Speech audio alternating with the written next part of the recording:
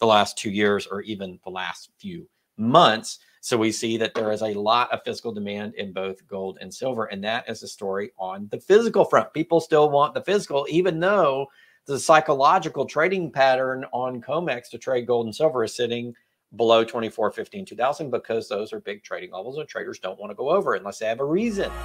Welcome to Gold Silver Pros. Searching for the best precious metals deal?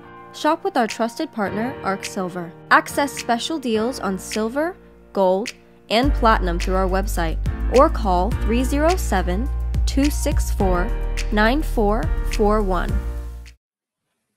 Everybody, this is Rob Kientz with goldsilverpros.com. This is your weekly market update for March 31st, 2023. I'm recording this about 1235 uh, Central Time. You guys should see it on the channels a little bit later today. In the weekly market wrap up, we start by talking about the market and the recent economic data. So go ahead and dive into that. We start with gold. Gold is trading up uh, overall in the week, although slightly down about 10 bucks on the day at 1968.48.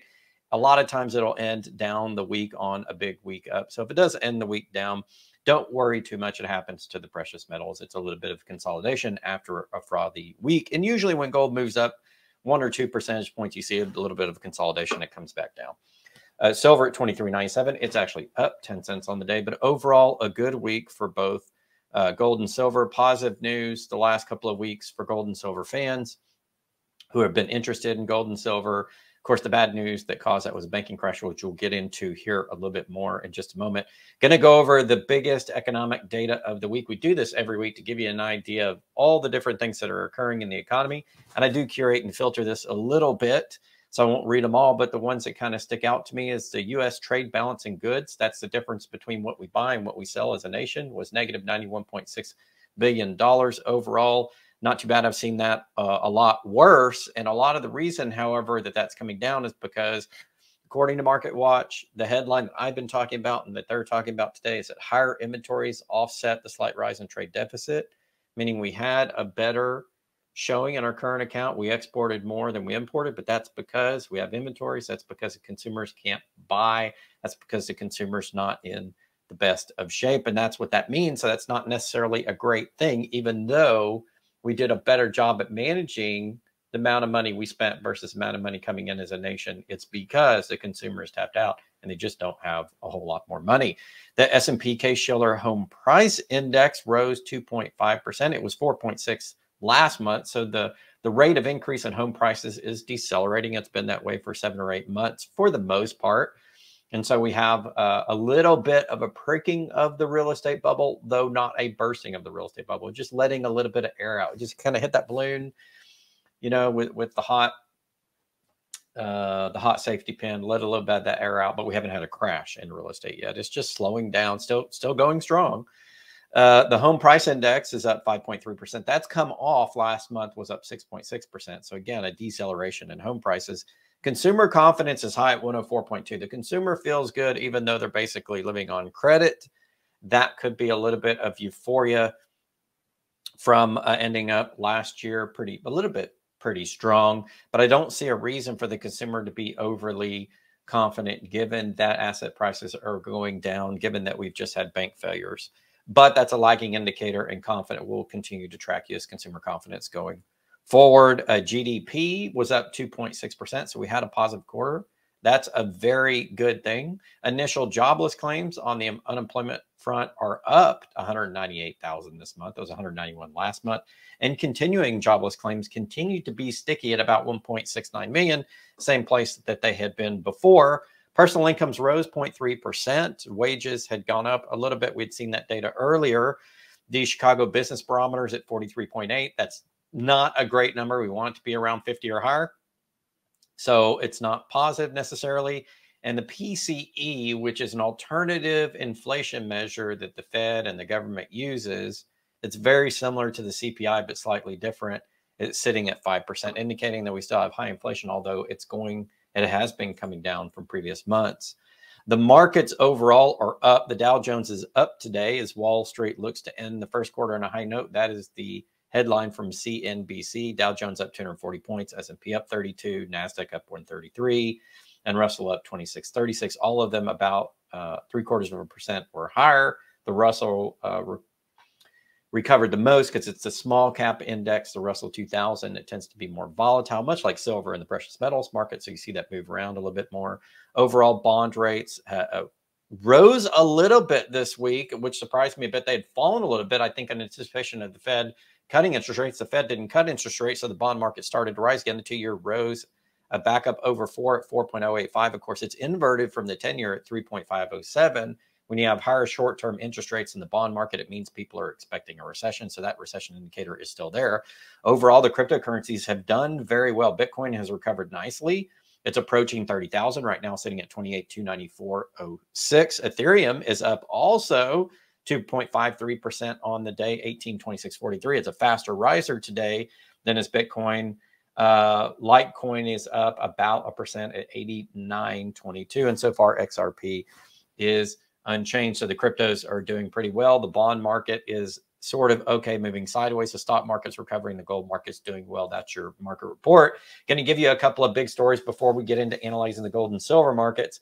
The biggest story of the week in terms of long term has been de dollarization. For example, uh, China has negotiated a deal between Iran and Saudi Arabia, not known as the closest of friends, previously have been enemies negotiate a deal for uh, Saudi Arabia and Iran to do trade and to do business outside the US dollar. Additionally, this week, China and Brazil have struck a deal to ditch the US dollar. I'm going to read here from the article uh, on Zero Hedge along with a quote from Elon Musk. Says here, in a time when de-dollarization news are dropping fast and furious, and even Elon Musk is now jumping on the bandwagon. A tweet that Elon Musk put out on March 29, 2023 says, combined with the excess government spending, which forces other countries to absorb a significant part of our inflation. He's talking about de dollarization there. So everybody's noticing de dollarization. Beijing's latest salvo against the almighty greenback, which is hooking up Brazil, a major uh, South American economy, with China. And again, that's the Belt and Road Network. Uh, the BRIC nations and the Belt and Road Initiative are all moves for China to build a large global uh, commodities market that circumvents the Western markets, the COMEX, the CME group, all of those. China's building alternative network and they're doing a lot of work there. And that's going to continue to push down the demand for uh, dollars, which means all dollars held in any country overseas. They're called euro dollars. They don't have to be held just in Europe. They can be in China, can be anywhere. But they're called euro dollars because originally most of them were held by Europe, our major trading partner. All of those foreign dollars are starting to flood back into the US. And so the euro dollar futures are coming down. The demand for dollars outside the US is coming down as people de dollarize. Those are flooding back into the US. It's going to increase liquidity of dollars in the US, but it's also going to create a lot of inflation.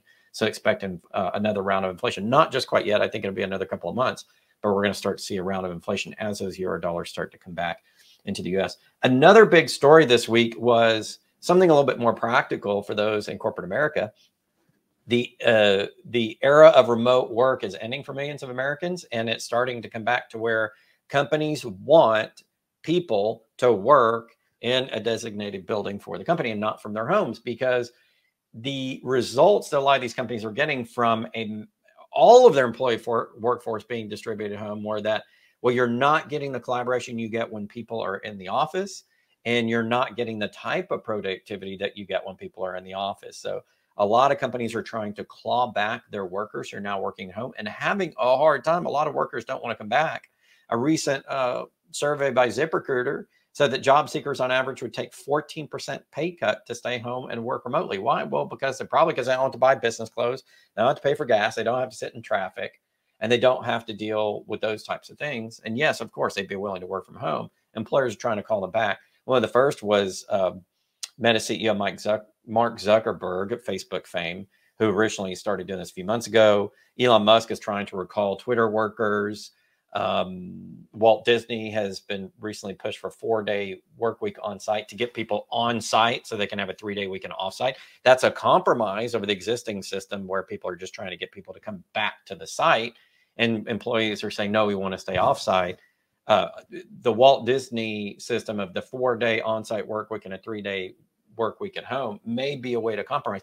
We'll follow that. That's an important trend going on in corporate America because you never really know, you know, how that's going to how labor and productivity is going to affect things like GDP, wage rates, inflation, and this is a pretty big thing. So we'll see if remote work continues and the US worker can continue to be sharp at home and deliver at home or if we're all going to go back into the workplace. Certainly from a financial standpoint that would be a boon to commercial real estate market which has taken on the chin since the pandemic in which a lot of people work from home and a lot of leases were not renewed and a lot of commercial real estate office space especially is sitting out there looking for a home and rates have come down thereby crashing a lot of the commercial real estate market and affecting REIT investments passive real estate investments those are all things that we'll be watching uh, different parts of the economy as well. We're going to present now and go into the piece on the gold and silver, where it's CME Group looking at volume and open eye. You can see since the bank crashes, we've had a, a large increase in the gold and the silver trade, as you can see here on the charts. Um, and that makes sense because people are going to safety. So they're going to be increased demand for gold. As we look at what's going on, the dominant contract here overwhelmingly is June because it has almost 400,000 open interest contracts on the market at once. And it added 5,000 on a single day yesterday most of those 5,000 came off the April contract, which is no longer the dominant contract. So we're not going to look at that one. There is some still some trade in April. We're still getting some exchange for physical from April over to London. We're still getting a lot of exchange for physical in gold uh, over to London in June, which is now the dominant contract month. And as we look at Thursday's data, you can basically tell there wasn't a lot of uh, a little bit of exchange for physical. Um, not too much interesting in Thursday's data. We go over to Wednesday's data. You can see 24,000 contracts move from April to June. So clearly the traders are trading the June contract. You saw 380, uh, I'm sorry, 879 exchange for physical over to London market to get physical access on that June contract and 58 deliveries of the existing March contract. Right now, we only have four contracts open in March. That's because we're at the end of the month and we have 26,000 in April. Some of those will probably be delivered, I'd imagine, but most of those will probably roll off into the June month. Looking at the settlement data on this tab, we get pricing, and it gets a little confusing when you have a roller from one month to another. But thankfully, we had 139,000 contracts close for the June contract, so that's where we're going to look for our pricing data. It it's fallen so far today. This is early Friday trading data. It's down about 11 bucks today to close at 1986.20. If we look at yesterday's trading action, Thursday, we were up $13.20 on the June contract. We almost touched on 2000. And here's something important I want you guys to understand. When I put up technical charts, especially when I write for JM Bullion or I put up a technical chart here on a video, and I'm talking about reaching a resistance point, it's a psychological point at which traders don't want to on their own trade above or below. 2000 is a big one for gold. So we're sitting at 1997 gold. And as we approach that, you could see we closed in 1997, but today the trading is to close below. So we actually lost 12 bucks. Why? Because traders are not ready to breach that $2,000 market. They need a piece of news or something to give them a reason to buy more gold. So even though gold probably from a physical perspective needs to have a higher price, the traders are going to sit right here under 2000 for a while until they find a reason that tells them to go higher. And it may be a bank failure. It may be bad economic data. We'll track that. Silver's been a lot less frothy since we've had the bank failures because silver is not the initial metal you go into for safety. Silver you go into after gold. Gold moves first. So we're seeing some increased trade in silver here on the charts, but not too much. Now there is a very hefty need for physical silver on the markets. You see a massive 2,700 contracts of silver exchange for physical on yesterday's data. That's five. That's 2,700 contracts of 5,000 ounce silver moving from the American market over to London in search of actual physical silver. Why? Because you can only deliver on the March contract and there's no more contracts. There's zero. So the last 15 contracts delivered yesterday on the March silver futures month. The rest of the trade is sitting here in May with a little bit in July. And so if you want physical, there wasn't enough contracts to get it right now on the COMEX. So you do the exchange for physical in the future and go over to London and see if they have it over there. That's why exchange for physical has gotten so much more important. A lot of people don't know what exchange for physical is.